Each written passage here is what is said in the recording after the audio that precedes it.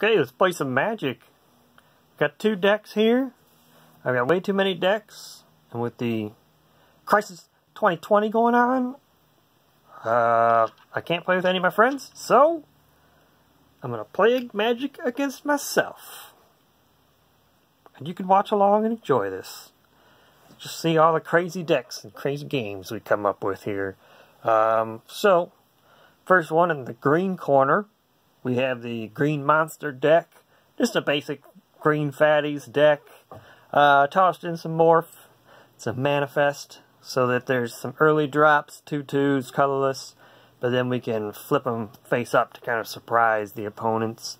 And in the blue-green corner, we have Countermax deck. Uh, blue-green control, but we're playing the counter spells that kind of siphon your mana. Like wish I had Mana Drain, but we're playing like Plasm Capture, so we're going to hold up 4 mana. And we got creatures that can come into play and counter spells, and we got big spells that counter what the other deck plays and then use that mana. So hopefully we, if we get lucky, you can pull off like a 10 mana spell on turn 5. Um, so we're going to roll off.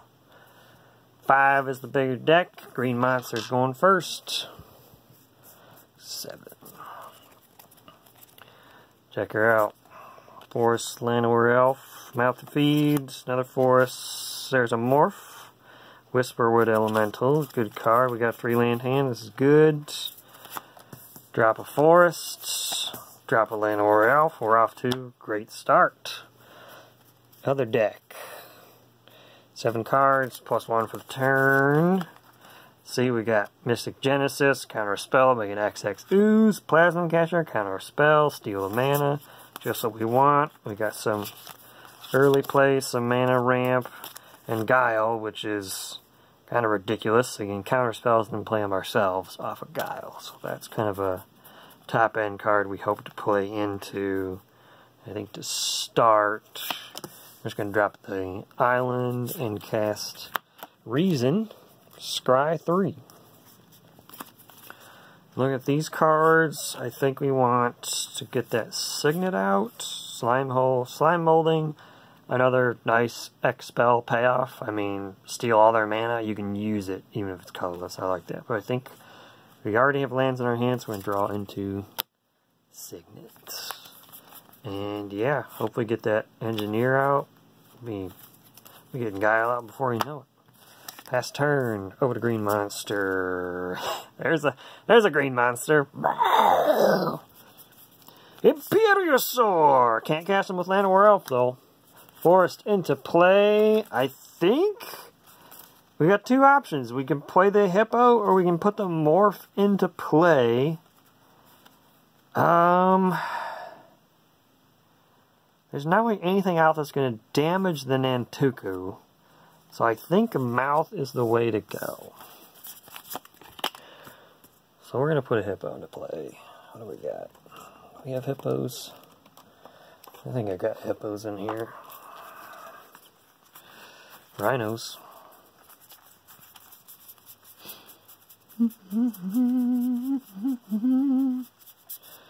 There he is.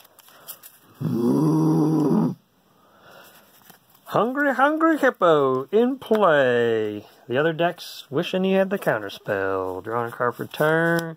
There's two lands and a signet. Pass turn. Back to Green Monster. We have the War Shaman. Manifesting cards. So you can see, we've already got a lot of like morph manifest shenanigans going on. I think can't cast Imperiosaur because you can only use basic lands. So we're going to put the Nantuko down as a trap. And then attack with both for 4. Put him down to 16. Alright, so counter max. 3 mana open. There's 4. So we can drop the engineer and ramp. Or we can keep the plasm capture up. And then hopefully next turn cast Guile, which I think we want to do because the engineer ramping into Guile would basically be the same thing. I think either way we can cast Guile next turn. I guess I just play the definite ramp then. That way we're not waiting to see whether or not a spell gets cast. Hold up the counter spells for later. Back to Green Monster. Okay, there's the fourth land. So we can drop the Imperiosaur, but the Whisperwood is so much better. Just gonna drop that. Whisperwood Elemental. 4-4. Beginning of your end step, manifest the top card of your library. Sweet. Alright, so we're going to roll with a 2-2 and a 3-3. Uh, we want that ramp, so we're just going to take 5. That puts counter max down to 11. Half dead already. Green Monster's doing its job. But here's blue, so that's blue, green, blue, green, blue, green for Guile. Alright, that's a 6-6. Oh, I forgot the manifest trigger. We were supposed to have a manifest trigger, and that is a Vines of the Vastwood. Monster's getting a lot of stuff in play here. A 2-2 Death Touch Basilisk. See, it just looks like a monster. Is it a good card? Debatable. Is it a green monster? Of course it is. That's why it's in here. Um, so, definitely drop the Imperiosaur. He's a big butt. Now, we have four guys clear for attacks. I think I just roll him with everything because Guile's not going anywhere and Green Monster just needs to finish the beatdown. So we're rolling with all of these. Now, I could have held up my mana I shouldn't have cast Imperiosaur before the attack. I realize that. But Guile's going to block the Whisperwood Elemental. Um, so we'll just sacrifice it for its ability, which doesn't do anything. But get through for 7 damage. Countermax is at 4 life. It's going to have to pull something out of its tushy to win this game. I know it could feel like a mismatch, but uh, both of these decks are 2 and 0, so off my stats, they're around the same, but still pretty early. I think I can put down a 5, uh, and put out 6 6 ooze, or I could keep Guile, the Engineer, and another blocker up with the Horizon Chimera. I think I need more blockers at this point. So, pass? How about this? How about keep the engineer alive, and for 3 mana, we put a 2-2 slime into play.